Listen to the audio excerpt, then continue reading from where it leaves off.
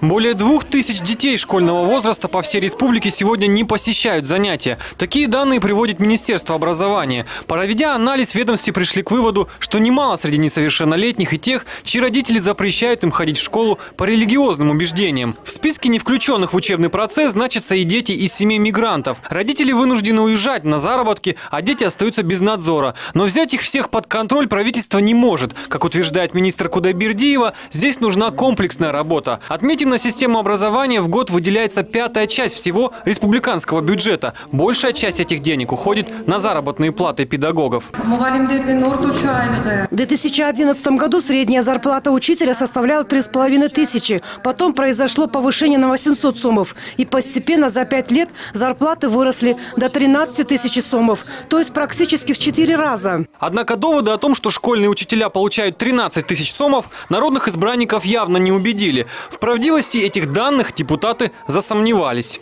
орточо айлық мына 14 мың 13 мың деп атасыздар Вот вы говорите, что у учителей 13 тысяч зарплата. Но я недавно была в регионах и встречалась с избирателями. Мне они сказали, что такую сумму получают далеко не все, а совсем ограниченное число педагогов. Остальные намного меньше. Как бы там ни было, но надбавки двухлетней давности, как выясняется, в этом году учителям точно не видать. Деньги из бюджета на эти цели не предусмотрены. Впрочем, в сфере образования, кроме зарплат, есть и много других, не менее важных проблем. Министерство образования рапортует, что ведет работу по обеспечению интернетом средней школы. Правда, тут же сетуют о нехватке средств для закупки 6 тысяч компьютеров на эти цели. По словам депутатов, есть в стране и ряд образовательных учреждений, которым и вовсе не до компьютеров, а требуется банальный ремонт.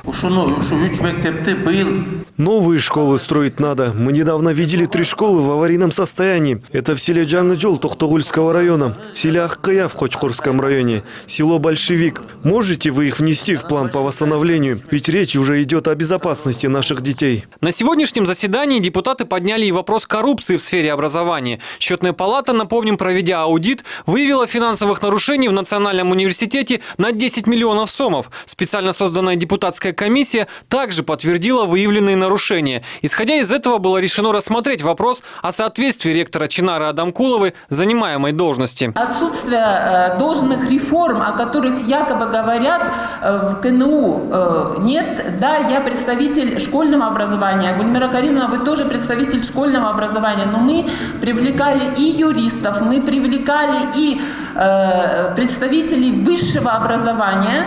Там действительно очень серьезные проблемы, и подобный человек не имеет права возглавлять тем более национальный университет. По национальному университету мне здесь просто хотелось бы такого объективного подхода. Никакой личной заинтересованности в этом вопросе моем нет. И я думаю, наверное, правильно сказали, что есть э, заместитель министра, который курирует вопросы высшего образования. Возможно, мы будем готовы ответить. По озвученным ранее данным, в Кыргызстане нет ни одного высшего учебного заведения, соответствующего мировым требованиям, и всего два университета, которые отвечают минимальным региональным стандартам. Алексей Немашкал, Нурзада Сыдыкбекова, Александр Симонов, НТС.